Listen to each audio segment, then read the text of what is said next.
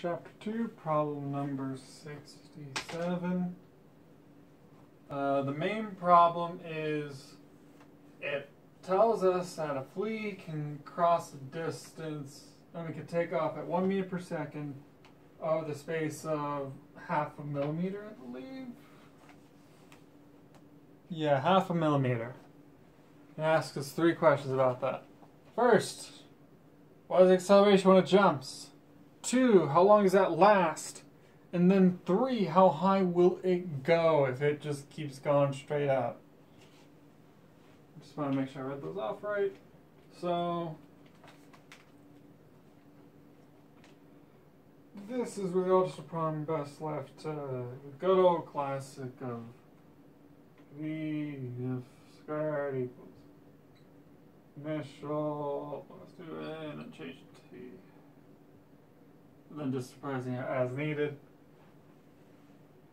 So for the first part of the question, what is acceleration during this period when it's meter per second, uh, zero and half mil and half a millimeter? So we know it's one second. Initials two plus two a,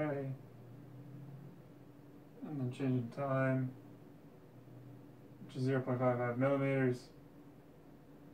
I just have it as this. So we just plug the numbers in, and we get A equals 1,000 meters per second squared. That's his like acceleration during that period of time. They ask us how long does this last? So then, using very similar equation, which is v squared equals VI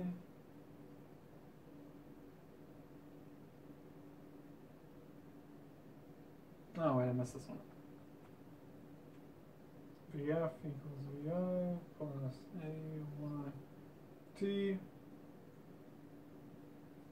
Just have that be respective T instead because that's easier.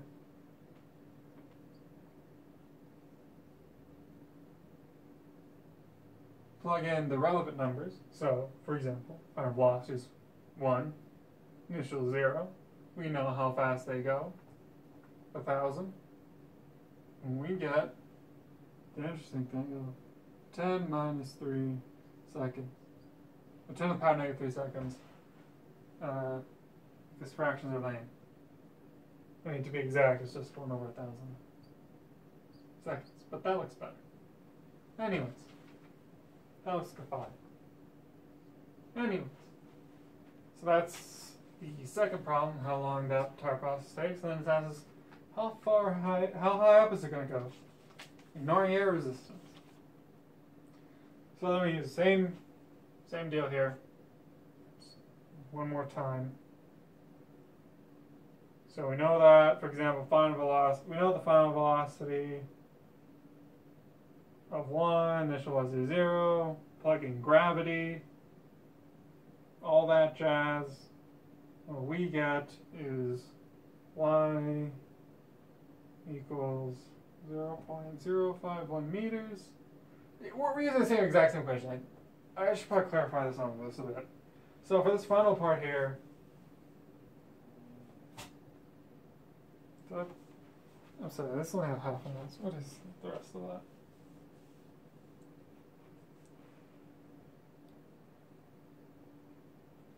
Okay, so yeah, like we know the initial, the final velocity is going to be a meter per second. We know the initial velocity is zero. We know, and by the way, I have an acceleration here. I use gravity instead. The real thing here is just finding, uh, I mean, to be exact, that's going to be like y,